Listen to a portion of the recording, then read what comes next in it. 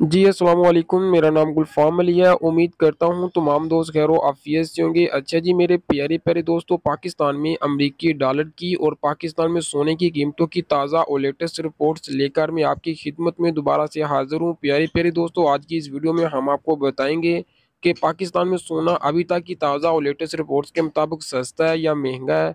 आपको बताएँगे कि पाकिस्तान में अमेरिकी डॉलर के रेट्स में कमी या अजाफा लेकिन यहाँ पे मैं खुश खबरी सुना दूँ कि पाकिस्तान में सोने के रेट्स में कुछ अजाफा लेकिन बनस्बत पाकिस्तान में अमेरिकी डॉलर के रेट में ज़बरदस्त कमी वाक़ हो चुकी है। आपको बताएँगे कि शाम तक पाकिस्तान में सोना मज़ीद इनक्रीज़ होगा डिक्रीज़ होगा। अगर डिक्रीज़ होता है तो कितना नीचे आ सकता है? अगर महँगा होता है तो कितना ऊपर जा सकता है? अगर आपने अभी तक गोल्ड में इन्वेस्टमेंट नहीं की या करके रखी हुई है तो वीडियो को पूरा देखिएगा। फुली इन्फॉर्मेशन अपडेट की जाएगी और आपको कुछ तजिया भी अभी तक की मार्केटों का बताया जाएगा। तो चलिए दोस्तों, जल्दी से वीडियो का आगाज़ करते हैं, लेकिन गुजारिश होगी पहली अपडेट्स की वीडियो है। वीडियो को आपने लाजमी से लाइक करना है। तो चलिए दोस्तों वीडियो का आगाज़ करते हैं। आगाज़ में सबसे पहले बात करते हैं इंटर बैंक से। वीवर्स आपको यहाँ पे मैं इंटर बैंक के हवाले से खुश खबरी सुना दूँ कि पाकिस्तान में चालीस पैसे डिक्रीज हो चुका है। इंटर बैंक में पाकिस्तान में अमेरिकी डॉलर जो है ना वो सस्ता है।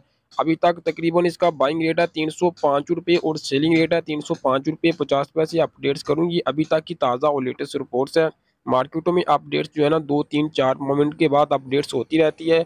अगर आप हमारी लेटेस्ट अपडेट्स की व्हाट्सएप ग्रुप में आना चाहते हैं तो स्क्रीन पे दिए गए व्हाट्सएप नंबर पर रब्ता कर सकते हैं।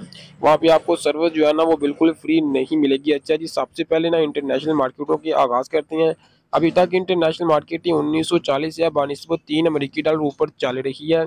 अगर पाकिस्तान में अभी तक की ताज़ा और लेटेस्ट रिपोर्ट्स के मुताबिक पीस गोल्ड की बात करें, दो लाख चालीस हज़ार आठ सौ रुपये इसका सेलिंग रेट है और दो लाख चालीस हज़ार पाँच सौ रुपये इसका बाइंग रेट है। पठूर गोल्ड की बात करें, दो लाख अठतीस हज़ार इसका सेलिंग रेट है और दो लाख सैंतीस हज़ार इसका बाइंग रेट है।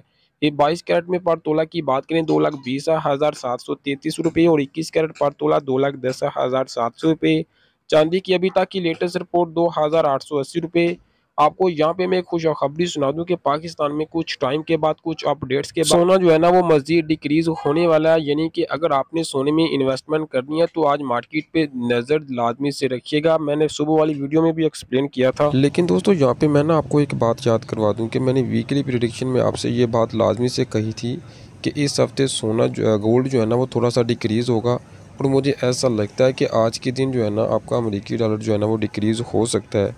लेकिन मार्केटों पे नज़र लाजमी से रखें, अगर आपने इन्वेस्टमेंट की है, करनी है, क्योंकि अब आपको मुझे नहीं लगता कि दोबारा जो है ना, इसी रेट पे दोबारा मौका मिलने वाला है। लेकिन अपनी अगर आप होल्डिंग पावर को बढ़ा के रखते हैं तो मुझे हंड्रेड परसेंट उम्मीद है कि आप प्रॉफिट में चले जाएँगे। अगर आप शॉर्ट में खेलना चाहती हैं तो मैंने जो है ना, आपको शॉर्ट के मतलब बताया कि चार पाँच, यानी कि चार प्लस में अगर आपको प्रॉफिट मिलता है तो उसे अल्हम्दुलिल्लाह किया करें और पॉकेट में डाल लिया करें। अगर आपको एक पीस के पीछे अस्सी, नब्बे या एक लाख भी प्लस में मिलता है, उसको भी जो है ना अपनी जेब में डाला करें, क्योंकि मार्केट की सूरत किसी भी वक्त मूवमेंट जो है ना वो चेंज हो सकती है।